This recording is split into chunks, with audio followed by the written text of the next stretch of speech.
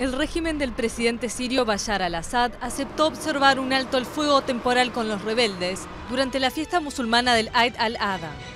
La festividad, que coincide con el peregrinaje anual a la Meca, es uno de los periodos más sagrados del calendario musulmán.